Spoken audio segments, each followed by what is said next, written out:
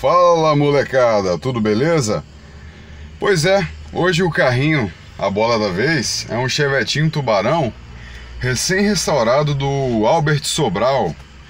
É, esse carrinho é ano 76, 77, o Chevetinho Tubarão, é, motorzinho .4, quatro marchas, original.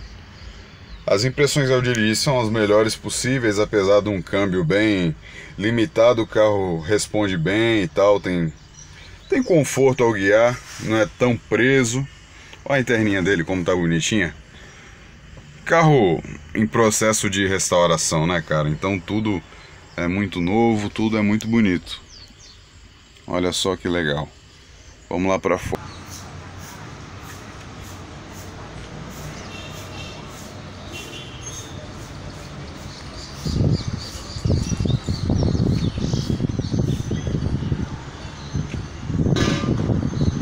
Carrinho tá bem legal. O Albert optou por pintar as rodas em vermelho. É, no capô não está desalinhado porque está aberto. Está em processo de restauro, então ainda falta a grade dianteira e alguns detalhezinhos bobos. A cor dele ficou bem bacana. Mostrar o motorzinho. Aí, como eu mencionei, 1.4, 4 marchas. Original.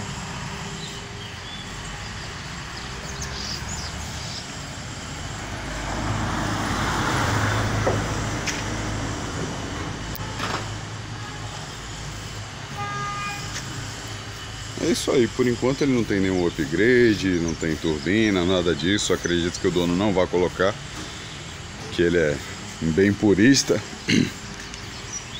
As rodinhas aqui ficaram legais, a banda branca depois também vai ser ajustada, que ela tá meio torta. Mas o carro em si é muito bonitinho. É isso aí, pessoal.